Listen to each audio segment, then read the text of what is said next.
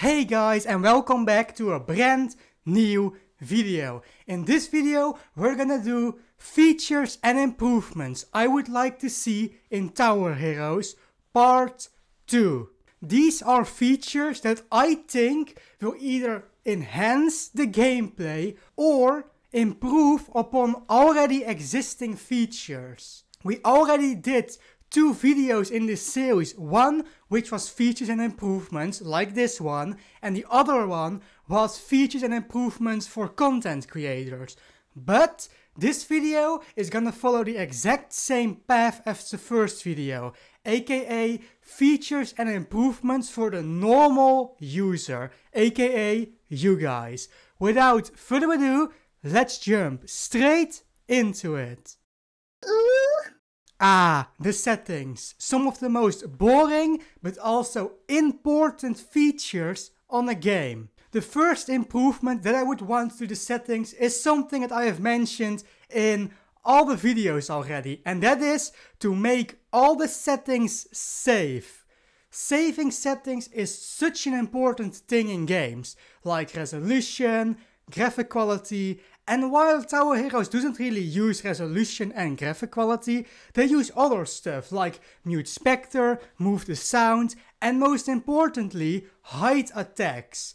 Hide attacks is something that should be saved 100%. Because if somebody with a really bad PC forgets to turn off attacks for the millionth time and he crashes, there is a chance that he will get fed up with it and leave the game. Which isn't what you want. Of course, I also want some new features built into the settings, and one of those is mute attacks. I personally love seeing the attacks. They have a lot of personality, they are cool, and you want to see them. They are really well designed. But some attacks, scientists, are loud. And at that point, I would rather just mute all attacks but still be able to see them. The second feature I want is something that is kinda similar to hide attacks in the way that it helps people with a low-end PC or a mobile or even Xbox play the game. Because when you make a game, of course you want as much players as possible, even those with low-end PCs. But there is a problem. The game lags. So this feature might seem a little dumb to some of you guys. Probably because you have a really good PC or you can run Tower Heroes very well. But the feature that I want is hide towers. And this is what it would look like. You got all the Vocas just standing on the path and you turn on hide towers and boom. PNG images of the towers. Now, that probably won't increase performance by a lot. But even if the little bit improvement that it gives brings in 200 Xbox players, 50 mobile players, a thousand PC players that normally couldn't play your game, I feel like it is worth it. Moving on from the settings, I want to talk about something that I've already talked before, but I feel like this one is super important. And that is to be able to see the range of towers that aren't your own tower. Just seeing the basic info that you also see when you click on your own tower. So this is important for a couple of reasons. For one, it is something that I've been asked a lot. Like I invite some friends with me to a game that never played Roblox before, but they saw Tower Heroes on my channel and they were like, oh that looks cool, let's try it out. They go in the game and the first thing they ask is, how do I see the range of your Spectre? How do I see the range of your Voca? I want to place my towers in a way that compensate your range, but I can't see your range. Why is that? It is such an important feature for teamwork because let's be honest, nobody can memorize all the ranges out of the top of their head. There are balance changes, ranges change. This is just something that's needed. Ah, we end up with the big one. So, there is a problem right now in Tower Heroes, and that is the declining player count. And the reason for that is people join the game, they get all the new skins from the new maps and they leave. So luckily, Hilo and Smelly are aware of this and try their best to fix it. Their fix right now is making a casual mode. And to be honest, we don't have enough information about casual mode yet to predict if it will work or not. But I do have another suggestion that might work to keep players invested in the game, and that is quests. But before we talk about quests, we're gonna talk about something that everybody's gonna hate. We're gonna lower the coin reward of each map by minus 10. So, before you get mad, no, I can't grind anymore, listen. The quests will give you 20 coins. So, if you do all your quests, which keep recycling every time, you should end up with more coins. So, what do these quests entail? Well, the quests entail simple objectives that will keep you play the game, that keep rotate out. For example, a quest like two heads are better than one, which basically require you to play with another player.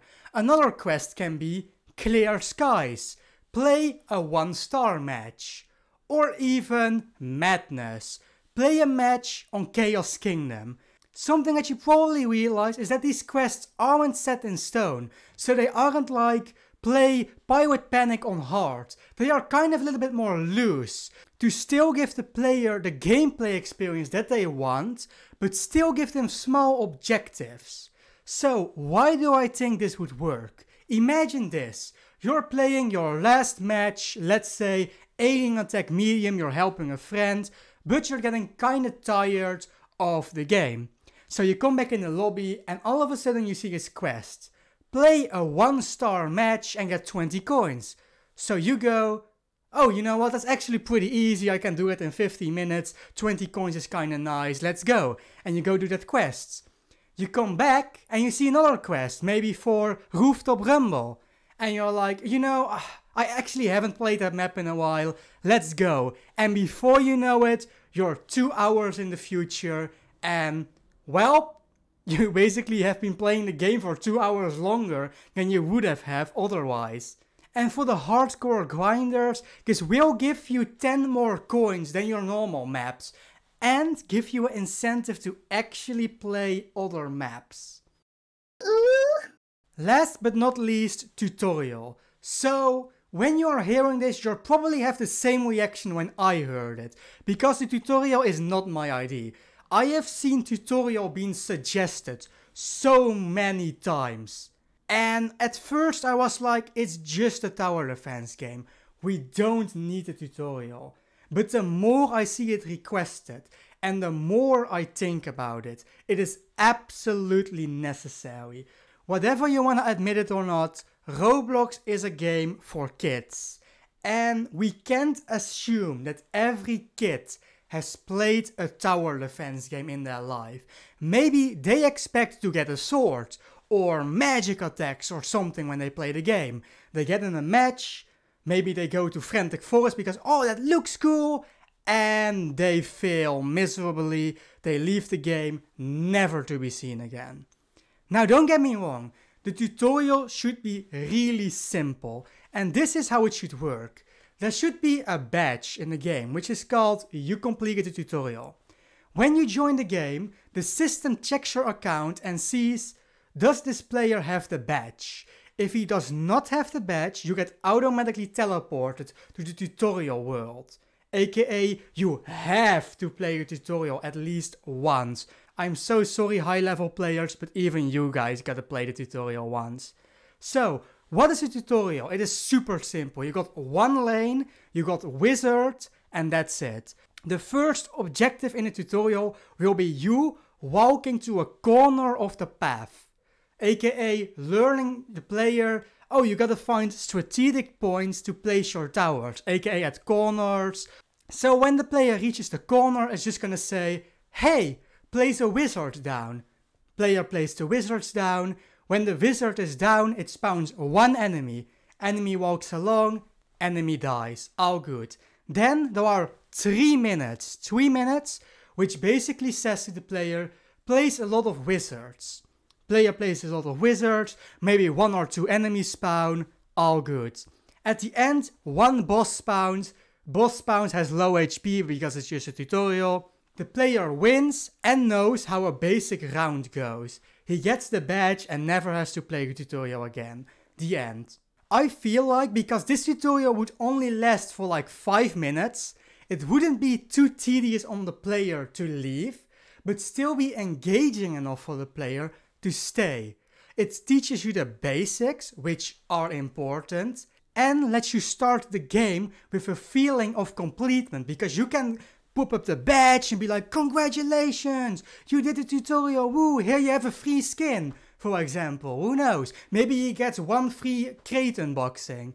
Something like that, the player feels good about him, is gonna play the game, maybe make some friends, and he probably joins his awesome community, which is what the end goal is at the end of the day.